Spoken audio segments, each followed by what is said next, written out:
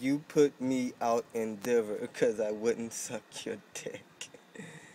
No. Man, do y'all see that shit right there, man?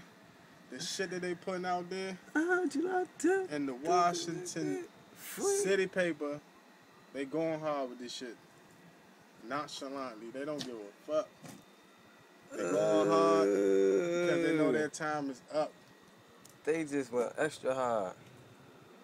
Murray and Bird, they keep putting Marion Barry shit out there for the most of it. Talking about stalking abroad and shit. Locked them up for that bam ass shit. Look at them. Don't they look cute together?